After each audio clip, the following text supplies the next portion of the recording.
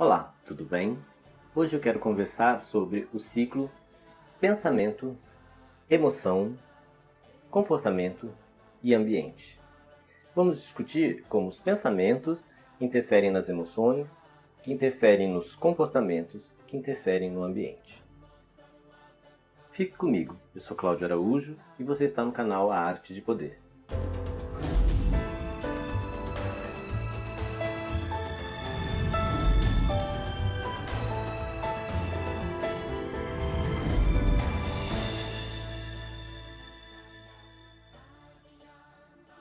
Você já percebeu como os nossos pensamentos influenciam diretamente as nossas emoções? Você já percebeu que quando nós ficamos pensando em coisas positivas, alegres, automaticamente nós nos sentimos positivos, alegres, sentimentos é, engrandecedores surgem dentro de nós. Por outro lado, quando nós pensamos em coisas negativas, sentimentos negativos também surgem dentro de nós. Eu faria uma comparação com a água e o ar. Imagine o ar o vento sobrando sobre as águas. Uma brisa suave vai formar pequenas marolinhas na beira da praia, onde as crianças podem brincar, se divertir em segurança. Mas um vento muito forte cria ondas fortes, pesadas, que somente os grandes surfistas conseguem brincar nessas ondas. Da mesma forma, os nossos pensamentos.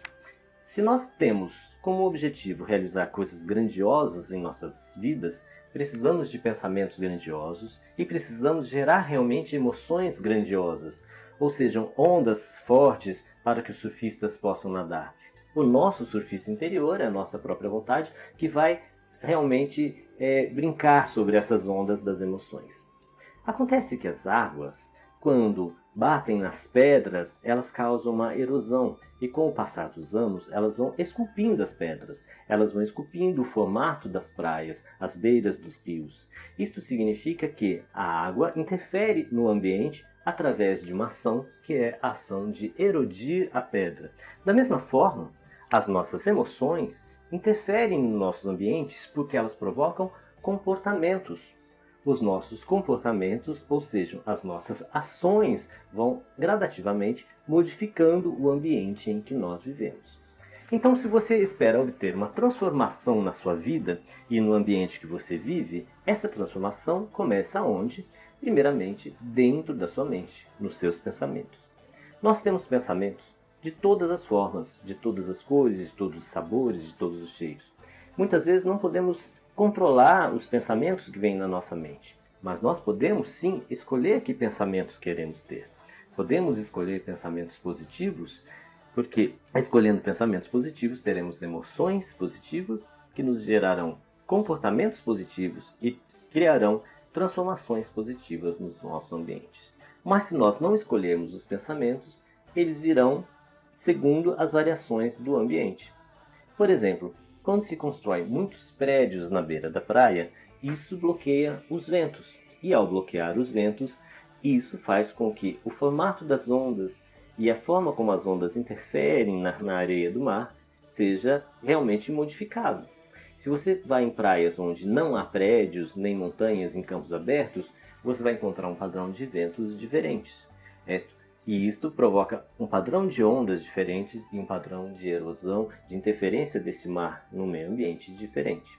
A mesma forma os nossos pensamentos. Se construirmos prédios dentro dos nossos pensamentos, ou seja, pensamentos que bloqueiam as nossas atitudes, bloqueiam as nossas emoções, isso também vai bloquear os nossos comportamentos e vai mudar a forma como interagimos ou como recebemos as interações do nosso ambiente. Mas se construirmos pensamentos realmente de expansão, pensamentos de mente aberta, pensamentos que se equivaleriam a uma praia deserta, onde o vento pode circular livremente, então as nossas emoções serão regidas por esses pensamentos que estamos escolhendo e gerarão comportamentos livres, comportamentos que vão construir belíssimas esculturas nas areias de nossas vidas. Esta é a mensagem de hoje. Espero que vocês tenham gostado, que vocês compartilhem, que vocês cliquem aí no botão curtir, que seus pensamentos realmente gerem uma emoção de estou com muita vontade de clicar no botão curtir porque essa mensagem foi muito legal. Um abraço no coração de todos e eu vejo vocês no próximo vídeo.